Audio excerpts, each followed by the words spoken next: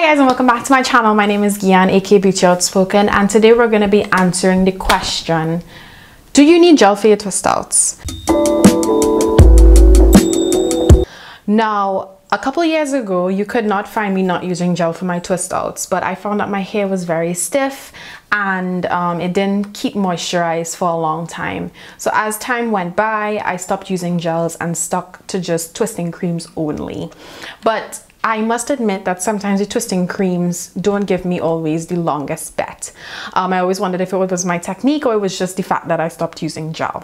So this is a question that I ask myself every time wash day. Should I add a gel or should I not? So we're going to be testing that out today by doing a twist out with gel on one side and then with just the curling cream or twisting cream on the other side.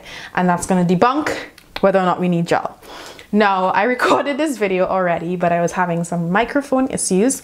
Um, so it's gonna be good because this is the second trial run. So I already have results and everything recorded from that. So I think it'd be really cool to kind of bring in those results with the results that I'm gonna get um, moving forward. I'm going to basically make them compete in three different categories. One category is moisture. The second category is how defined my hair looks. And of course, the last is longevity. So I'm gonna be showing you guys how I apply the products and then I'm gonna go into um, takedown process, wear, and then I'm probably gonna wait for about two or three days and then come back and give you guys a check-in for you to really see which one lasted. So that's gonna kind of take care of everything um, in terms of the criteria that I have. So I hope that you guys enjoyed the video. I hope that it is super helpful and thank you guys for even clicking on this video. So let's jump into it. So for the trial run today, I'm actually going to be using a couple new products that I've been wanting to use for a while and have stuck. It's from a Dominican brand, um, Dominican Republic, um, called Afro Love. And this is, um, I have the curling puree here as well as the leave-in smoothie. So I'm gonna go ahead and layer the curling puree on top of that. And for my gel, I don't have a gel from this brand. Um, so I'm gonna go ahead and use the Mane Choice line. Now this is similar to what I did, but the first time around, I used the Mielle Organics pomegranate and honey line. I used the leave-in and I think the curling curly fine cream or something like that. Um, and then I went ahead and layered it with the same Mane Choice gel. I really do enjoy this gel so that's why I used it back but totally new products for this trial so because I wanted to switch it up of course you know so the first thing that I do is um, I have my hair in sections. Sections make it a whole lot easier um, to apply the products and just to kind of manipulate the hair and all that kind of stuff. The first time I did it, I did it a bit large. So um, one of the things I'm going to do is correct that and make the twist just a, a bit smaller to see if I get longer wear from it. Because the first time the wear was about four days. So um, in the larger sections, I go ahead and apply the leave-in product.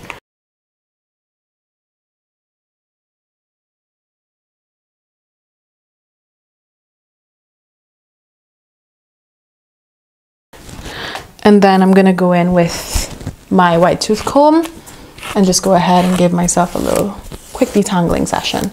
Now usually what I do is I have my spray water, my spray bottle of water on hand and that's just to make sure the hair is damp. I do like to do that especially when I'm going to be applying the gels.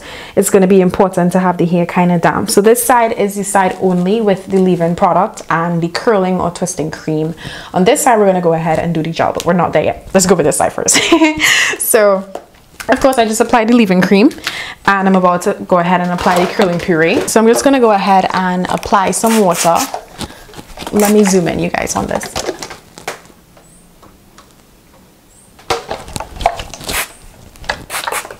Just gonna apply some water there and, ooh, okay.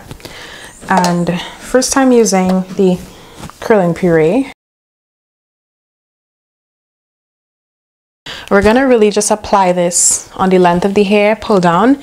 And because we're not using any gels, we're gonna kind of run this through the hair as you would a gel. And this is just to help, um, of course, make sure it's completely um, coated and distributed throughout the hair. And also because we wanna get a little bit of definition or as much as we can from just this product since we're not using gel. I want to give it a fair chance. So we have to really distribute it and get it throughout the hair to make sure that whatever curl we have with this product is going to be um, shown. And then I'm going to be using the comb again just to make sure everything is good. And last but not least, I'm going to use my Denman brush. And my Denman brush is just the finishing touch to kind of get this distributed and just give my hair a little bit of definition as well. Really, really nice. Wow, okay. Okay.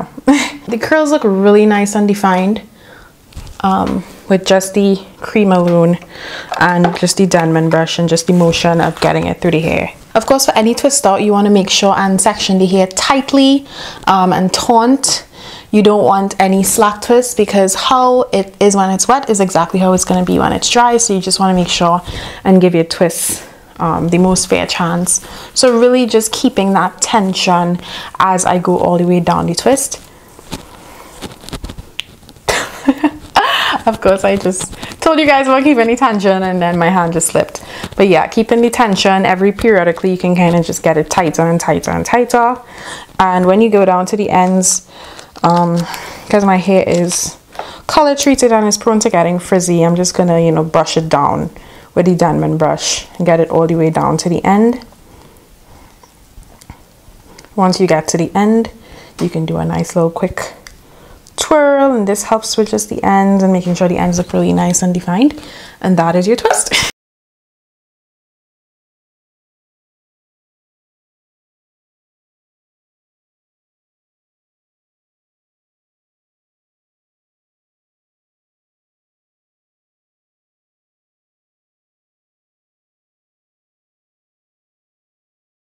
So I'm finally on to my last section and I decided to just go ahead and skip everything and just go to the last section to show you guys how I apply the gel products because it's pretty similar as the other side. The only difference is of course adding the gel on top. I'm gonna go in and I'm gonna wet my hair again and the wetting of the hair is really to just um, allow the hair to receive the products that you're gonna put in there. Um, wet hair absorbs a lot better than dry hair. Um, damp is best, but you know. So I'm gonna go in with the curling smoothie curling cream and just layer that. And I'm putting on, of course, just as before, a healthy layer of product. This cream is so good. Okay, I didn't do this before. I just felt like, um, because it's such a tiny section, I'm going in with a very fine tooth comb just to get the section detangled. Um, I don't feel like if the thicker comb will do anything. And then last finishing touch is my Denman brush, right? And the difference in this section is that I'm gonna add the gel. So I'm gonna add a nice layer of the um, Mane Choice gel. And I really just wanna show you guys, this gel smooths the hair. So the hair is extremely defined. Now I must say kudos Look at that. okay, did you see that? Okay, look at that. I must say kudos to the um, product by Afro Love, the curling puree. My hair is extremely defined even without any kind of gel or additive product. I feel as though my hair is extremely defined um, with this product. But I feel as though just the combination of these two products, it just like sets my hair off to another level oh this took me like almost two hours even with this size of twist but this is the finished product. Um, the side with the gel is definitely more white um, because of the product so it's going to take a little bit longer to dry on this side than this side. This side has already dried if you can see. Um, can you see a difference already in the product? How it's making my hair? Let me just zoom out. So this is the back of my hair so this is the side with the gel and this is the side without the gel. So I don't know if you can already see a difference in my hair and the smoothness. I don't know. So as promised, I'm gonna go ahead and let this air dry. It's gonna air dry for about one to two days, probably two days. And I'm gonna take it down, wear it as normal, go and do my errands, just live my best life. and then I'm gonna come back and show you guys what it looks like. And that's how we're gonna just do the wrap up, make sure and tell you guys my thoughts, really see whether or not we need gel or if we just kind of need it or if we just don't really need it at all. And um, yeah, so stay tuned. Well, I'll be back. so it's been about two days. Um, I let my hair um, sit and dry, whatever. I prefer to air dry my hair. Um, so I'm now going to show you guys the take down process. I'm really excited. I am really happy with how the twists um, stayed. Um, just in terms of just regular twists I definitely think this is going to be a really great twist out. Um, I must say, in terms of first impressions, the side with the gel feels and looks a little bit less frizzy. Um, it's it's not also as voluminous. You can see it's a bit almost smoother, straighter than this side, which looks a little bit more bulky. So I assume that's how it's going to look in the takedown. Uh, so let's see. Um, in terms of what I use, of course, you use the oil to remove any frizz. I'm using an oil by JEM Concepts. It's the Fruity Roots oil. It's um, flavored hair oil. So this one is banana strawberry. It smells amazing. If you are in Tobago, Trinidad and Tobago in general, it's a 10 year old entrepreneur. And she started this line and it's so cute. Packaging is amazing, but also um, just the smell. Like look how cute the lady is. I hope you can see that. So it's a really cool brand. So I'll definitely leave that down below but i'm using that just to of course remove any frizz make sure my hands are nice and smooth so ready for the takedown so what side are we to do first let's do one let's do the side without the um, gel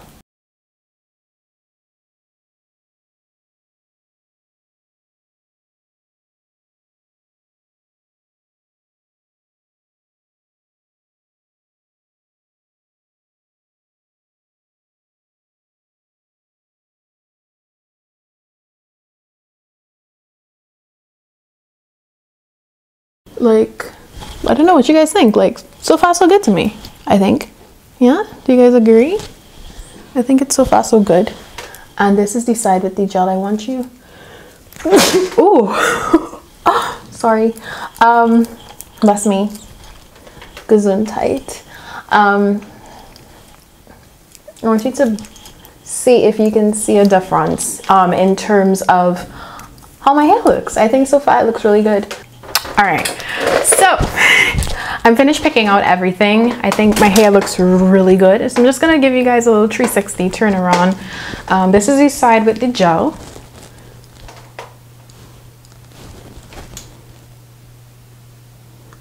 And then this is the side without the gel. I'm not sure if I need to turn up my lighting a little bit. So side with the gel again, just for you to see um, exactly what's going on there um, in terms of the hair and decide without gel. And then we're gonna do a little turn around. turn around. So a little turn around. I always, I'm so nervous turn around because I don't know what the heck my hair looks like from the back. I tried to use a mirror, but I, I, I don't know. So I hope you guys can see that. Do you see much of a difference between the two? Now, this experiment is crazy. And the reason being is because typically when I use a twisting cream versus when I use a gel, I see a huge difference between the two sides. Now I am still seeing slightly, slightly a smidge less frizz on the side with the gel, like a smidge. But I must admit that the Afro Love Curling Puree is holding up. And this is not a review of the Afro Love Curling Puree, but my God, so, but this is amazing also because it shows you that there are curling creams with enough hold that can give you that defined look without the gel. Now the question is, is there a benefit? One, you only have to use that product. You don't have to buy an additional product so that's good.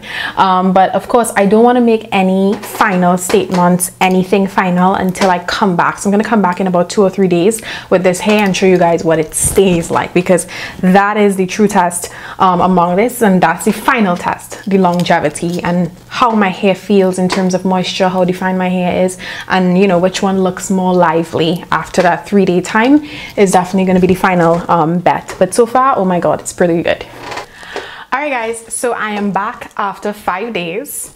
So a little bit longer than i expected and i'm just in to give you guys the checkup and of course the final verdict on our little experiment. So the question we're to answer today is this. Do we need gel for or twist outs. Now I had a few assumptions before this experiment of course and the two assumptions I had was one the side with the gel would be more defined and it would last a lot longer throughout the days as the twist out wore and the second assumption was that the side without the gel and just the twisting cream would be a lot more moisturized after the end of the experiment. Now as you remember I did this before and the film the the video didn't work out. So i'm actually going to show you guys the side by side of what my hair looked like after the five of the four or five days of that experiment when i use the Mielle organics products and then today now as you see it here when i use the um afro love products for you just to see the difference in terms of how the twist out and stuff stayed. And that has a big big impact on how we get into the results of this test and our final verdict. so what I can gather is that I feel as though my hair is nicely defined after that time. Now, as you can see, you know, you're still seeing some definition going on. It's not completely puffed out. There's still some elongation going on. My twist out started about hair. Of course, it shrunk up to hair. I mean, sweat, going to the gym, taking showers, etc. is going to cause the hair to rise up a little bit. But I feel as though it did pretty well course I'm going to show you guys the back, the side, etc. Now, I want you to check it very well. The difference between the two sides, now this is the side without the gel and this is the side with the gel. The difference between the sides is very, very menial. You can barely tell that there was much of a difference between the two. As you can see, I'm gonna bring you a little bit closer just to see how that is. So you're seeing, you know, some defined sections here, you're gonna see some more fluffy areas here. Similarly, you know, you're seeing defined sections and fluffy areas. So in terms of defined hair, the side with the gel is just a tad bit more defined than the side without the gel. So that assumption seems to be proven correct. However, the variation in how defined it is compared to the two sides, I thought I would see a bigger um, gap in terms of defined versus like being totally frizzy. I feel as though this is still good considering the fact that there's no gel to really hold it and gel is supposed to be a holding product so this did really well in that portion of the experiment in terms of the hair feeling more moisturized I feel slight tinge if I'm being very fussy about the side without the gel being more moisturized than the side with the gel.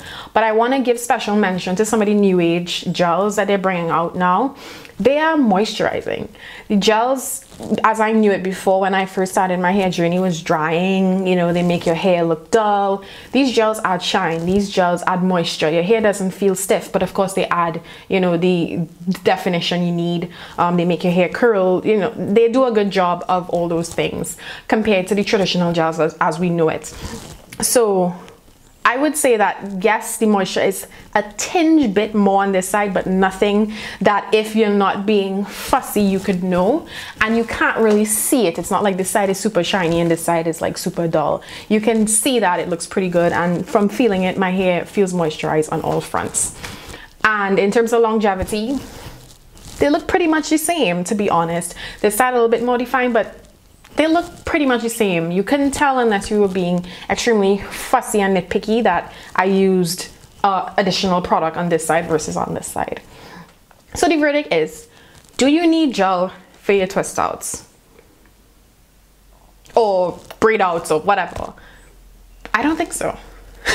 So me saying no, gel is not needed for twist outs, braid outs, styling, etc. It's definitely needed for wash and go. But for twist out, braid outs, etc., it seems as though the new age twisting creams because before there weren't really twisting creams it was more moisturizers. There have been a lot more twisting creams curly fine creams coming out in the market. And these have a certain level of hold in there that you're able to get very defined hair moisturized hair etc without having to use an additional gel or whatever the case is.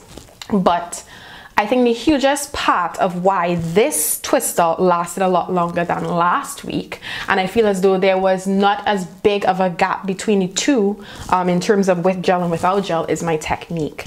So the last time I did it, the initial time, I just kind of, you know, spread the cream inside, you know, did a little comb through and twisted the hair. The sections were also a bit larger. Similar with the gel, I just raked through the cream, put the gel and just twisted my hair.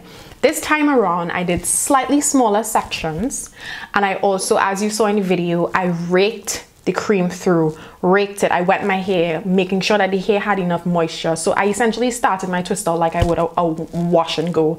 My hair was pretty wet and I raked through my cream products. I raked in my cream products and then I used a Denman brush to further really define and detangle. And as you saw, my hair was curly even before I put any twisting or whatever the case was. And then of course with the side with the gel, the additional gel again was rake through and pull through just as you would a twist, uh, a wash and go, sorry.